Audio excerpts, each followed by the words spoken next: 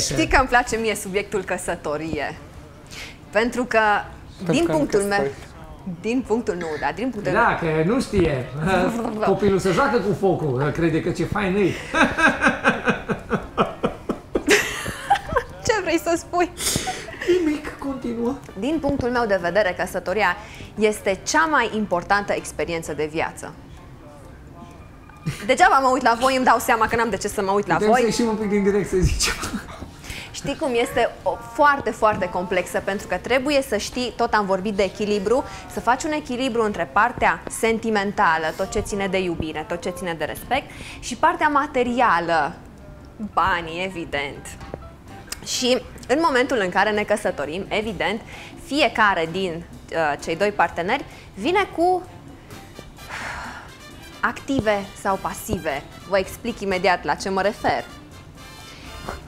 O căsătorie, în momentul în care se legalizează, practic, partenerii își pierd independența financiară, la asta mă refeream. Tu vorbești serios? Adică cum își pierd independența financiară? Păi hai să-ți adică arăt. banii la comun? Adică pui totul în tășcuță, ea își cumpără cam 25 de perechi de pantofi pe an și tu îți Păi, cumperi o- niște vezi, spadile aici din deja second? intervine comunicarea, trebuie să știi să-ți setezi niște limite, dar haideți să vedem. Deci trebuie să fie un echilibru între pantofii ei. Un echilibru în tot ceea ce facem, exact. Câte perechi de pantofi ai, Cristina, acasă? Eu Pe nu sunt bune. căsătorită, nu știu de ce mă întrebi acest lucru. Nu, nu, nu. Sunt... Uh, Când vei fi căsătorită, nu să ai mai puține, îți spun eu. În momentul în care vorbești telespectatorilor, uitați-vă la ea, uitați-vă bine. Are niște sandale sexoase, durere și întristare. Cristina, câte perechi de încălțăminte ai acasă de orice gen și orice natură? Număr. Nu mă întreba pentru că am o relație mult prea specială cu pantofii. Poți să mă întreb 85, de haine? 80? Nu știu. Nu știu, n-am să 80. răspund la această Am întrebare. o pereche de Adidas fucsia, două sandale, un cizmuliță.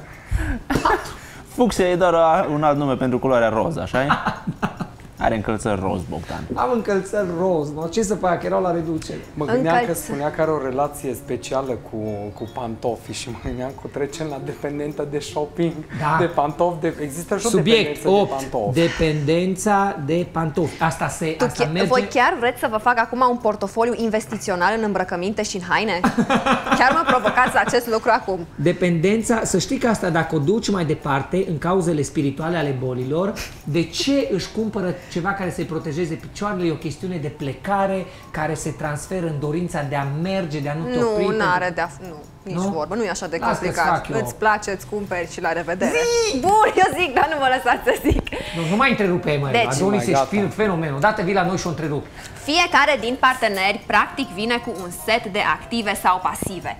Aici la capitolul active, eu tot timpul includ tot ce înseamnă bani, bani cash, bani în cont, uh, apartamente, uh, evident, sau și uh, mașină personală. Și la pasive aș include tot ce înseamnă datorii.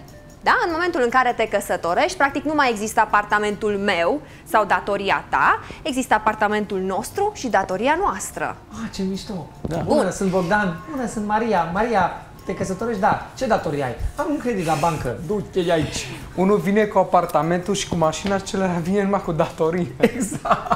Și nu Păi și mai dacă ar e fi timpul așa, tău, care-i e prob- timpul nostru. Și care e problema? Și timpul costă bani, dar mergem mai departe. Mergem mai departe, nu te Cum mai întrerupem. determinăm valoarea netă a fiecărei persoane?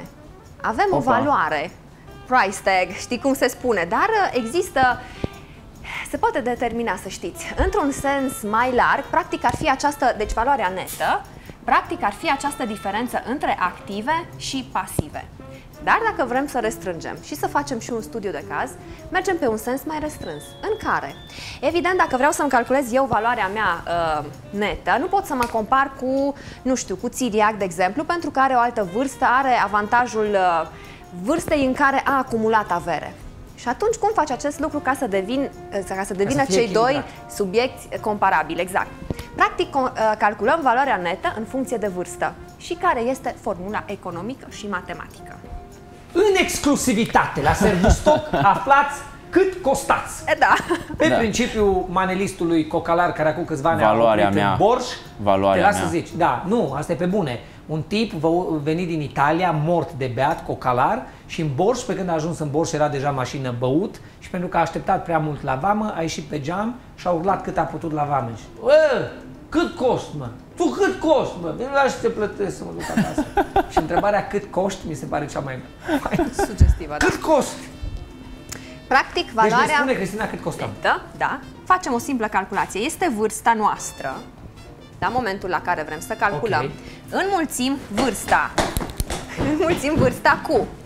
Englezii spun uh, uh, salariul before taxes. Ar fi un fel de salariu brut. Și aici să nu mă contraziceți că spun valoare netă și calculez cu salariu brut, dar consider că ar fi mai reprezentativ dacă am înmulțit cu salariul brut, în afară de, înainte de Ok. taxe, before taxes, salariu brut.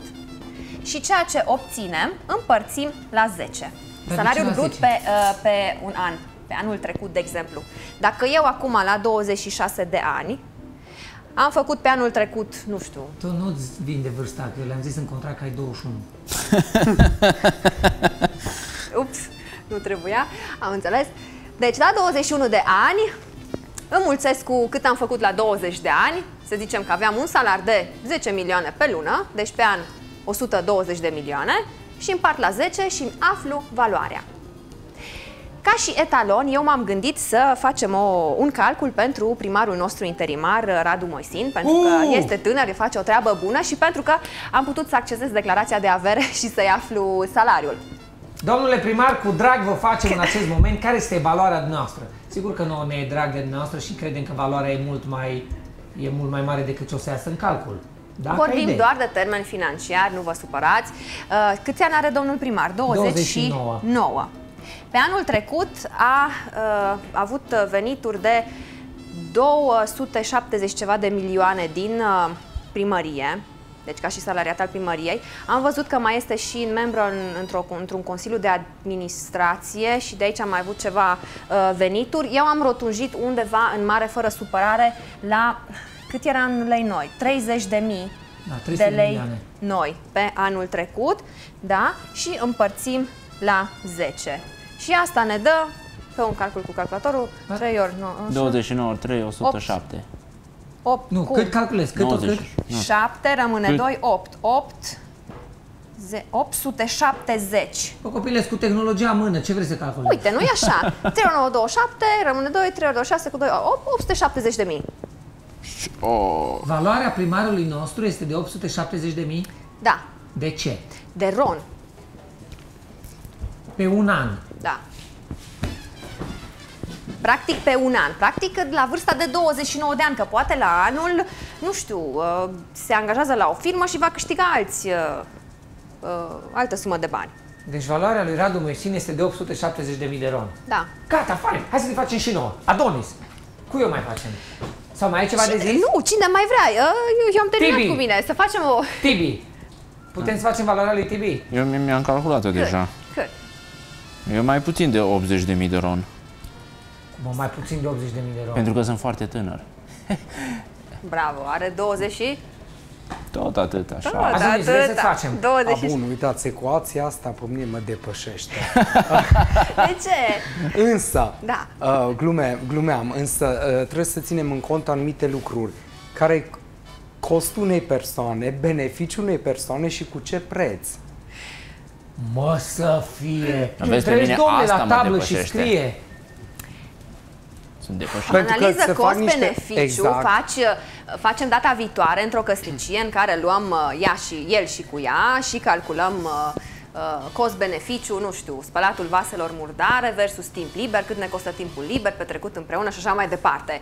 Dar acum uh, asta este practic o, cum să spun, un, uh, un punct de Sigur, pornire, să aveți e bun o asta, idee. Dar, dar tu ai zis o chestiune brut. Deci Da, vorbim de venit de brut. brut, da. A, trebuie văzut și cât rămâne. Că eu, dacă îmi fac, dacă îmi fac uh, eu raportul ăsta, păi primarul Radu Moisin e, n-ai, n-ai tu atâta loc de câte zerouri îmi mie. Brut. După care dacă treci netul, n-ai tu atâtea virgule în fața zeroului. Păi atunci, pentru alții care vor să facă această ecuație, să înlocuiască atunci cu salariul net.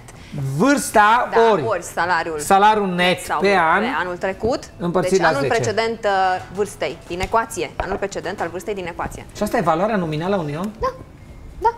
Deci ești, Și nu ești spun eu, ci un beneficit. economist. Am găsit pe un blog economic. Chiar? Crede-mă. Ah, ce există. fain. Există Bine, acest vă calcul. interesează, v-am dat formula. Nu, vă calculăm noi. Bun. Uh, Ce înseamnă, practic, am zis că fiecare vine cu o valoare, cu o anumită valoare netă în relație, mai mult sau mai puțin. Uh, practic, care este procesul? Am subliniat că fiecare își pierde independența financiară, da?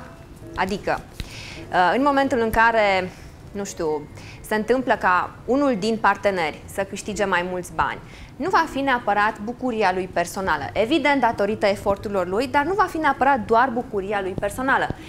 Din celălalt punct de vedere, partenerul celălalt se poate, cum să spun, se poate simți uh, cum că a contribuit la această creștere salarială prin faptul că a încurajat celălalt partener și a fost înțelegător, că a stat peste program și că a lucrat mai mult.